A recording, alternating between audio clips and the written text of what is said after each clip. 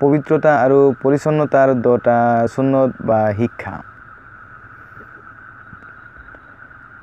ল'ৰা শৈশৱতে খাতনা বা সুন্নত কৰা।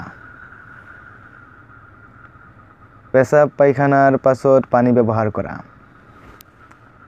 কুলি কৰি মুখৰ ভিতৰৰ অংশ পৰিষ্কাৰ কৰা। মিছৱাক কৰি দাঁত পৰিষ্কাৰ কৰা। নাকৰ অভ্যন্তৰত পানী নিক্ষেপ কৰা আৰু নাকৰ নোম দীঘল হ'লে চুটি কৰা। কাষলতিৰ নোম কাটি পেলোৱা। নাভিৰ তলৰ নোম কাটি পেলোৱা।